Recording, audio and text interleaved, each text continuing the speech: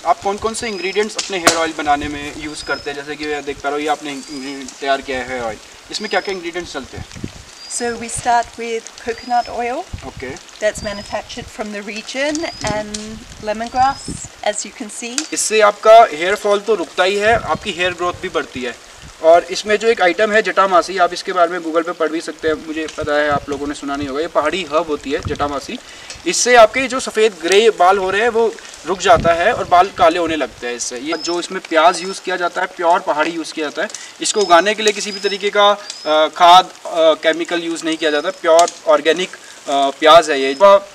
भृंगराज है, जटामासी है, यहीं की जिंजर यूज़ की जाती है और जितना भी ऑयल्स हैं, वो सारे यूज़ किया जाता है। इनफैक्ट जो भी इसमें मेथी के बीज डले हैं या अनियन का बीज डला है, ये सारा यहीं पहाड़ी इंग्रेडिएंट से ही तैयार किया जाता है। दोस्तों, आपका सात्विक मिशन चैनल पर स्वागत है।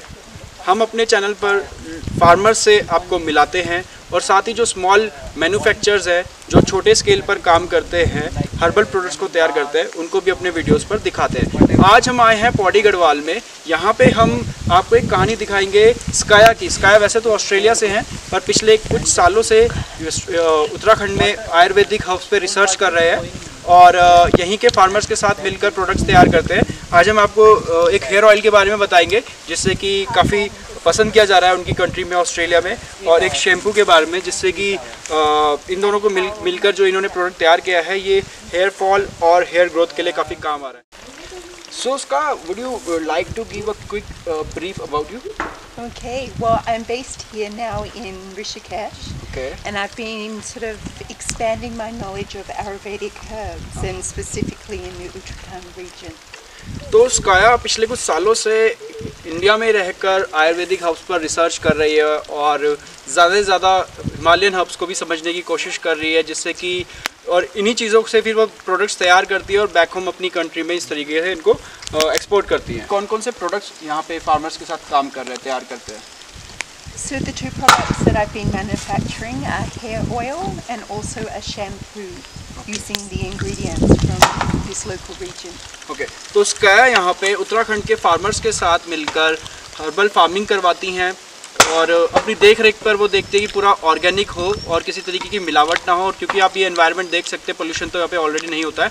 तो इन्हीं हर्ब्स के साथ मिल, से वो हेयर ऑयल्स बनाती है हेयर शैम्पू बनाती है, जो कि बैक होम इनकी कंट्री में काफ़ी पसंद किए जाते हैं। इसका व्हाट ऑल इंग्रेडिएंट्स आप कौन कौन से इंग्रेडिएंट्स अपने हेयर ऑयल बनाने में यूज़ करते हैं जैसे कि देख पा रहे हो ये आपने तैयार किया है हेयर ऑयल इसमें क्या क्या इंग्रेडिएंट्स चलते हैं so we start with coconut oil okay that's manufactured from the region and lemon grass as you can see And then pahari onion, which is different because it's natural, organic, no pollution.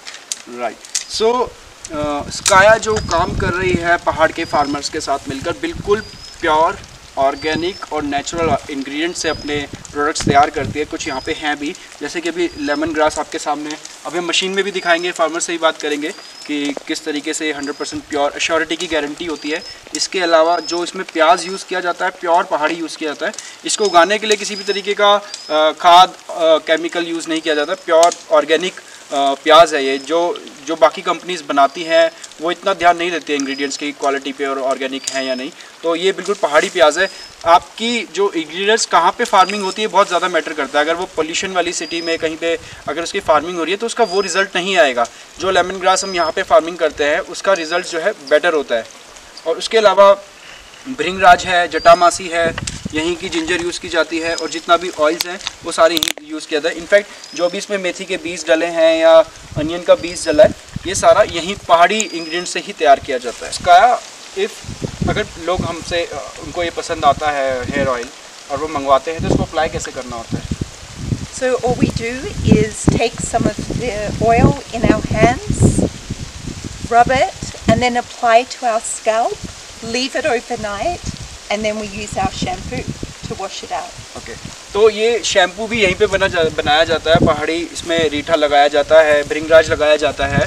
इन चीज़ों से shampoo तैयार किया जाता है। तो आप रात को और इसको लगाकर अपने बालों पर छोड़ दें और अगले दिन इन्हीं के जो शैम्पू बनाया है, ये भी आप मंगवा सकते हैं स्काया से इस वीडियो के थ्रू। तो ये आप अगले दिन इससे वॉश कर सकते हैं। रिज़ल्ट डेफिनेटली इससे बहुत अच्छे आते हैं। यूजली तीन महीने का हम सजेस्ट करते हैं, तीन महीने आप इसको अप्लाई करके देखो, आपको रिज़ल्ट दिखेंगे। पर आप क्योंकि ये 250 फिफ्टी की बॉटल जो है इसकी लेबल तैयार होती है तो आप आई थिंक पंद्रह थर्टी डेज़ वन मंथ का आपका एक बॉटल चल जाता है। तो आप दो तीन बार अगर उसको मंगवाते हैं तो डेफिनेटली आप रिजल्ट्स देखेंगे। Sky what are the benefits of using the these hair oils that you make hair The biggest thing, it promotes scalp health, um, preventing hair fall, long hair, strong hair. So yeah, amazing benefits. Okay तो ज़ाहिर सी बात है oils अगर ये वाला oil अगर आप use कर रहे हैं बिल्कुल जो पहाड़ में तैयार हो रहा है इससे आपका हेयर फॉल तो रुकता ही है आपकी हेयर ग्रोथ भी बढ़ती है और इसमें जो एक आइटम है जटामासी, आप इसके बारे में गूगल पे पढ़ भी सकते हैं। मुझे पता है, आप लोगों ने सुना नहीं होगा। ये पहाड़ी हब होती है, जटामासी। इससे आपके जो सफ़ेद ग्रे बाल हो रहे हैं, वो रुक जाता है और बाल काले होने लगते हैं इससे। ये दिस इज़ द ये इसका फ़ायदा है। इसके अलावा इसमें चिरायता है।